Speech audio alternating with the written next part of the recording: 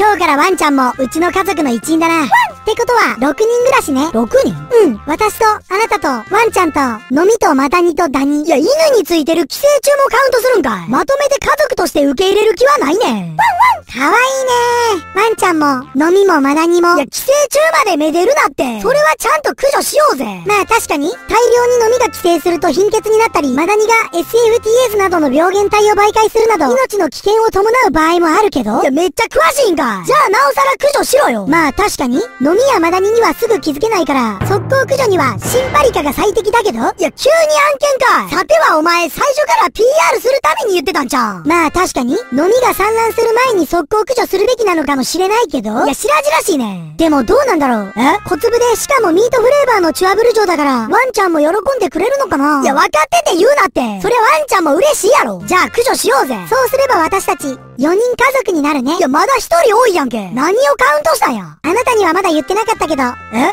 お腹の子供、いや、ハッピーエンドなんかい。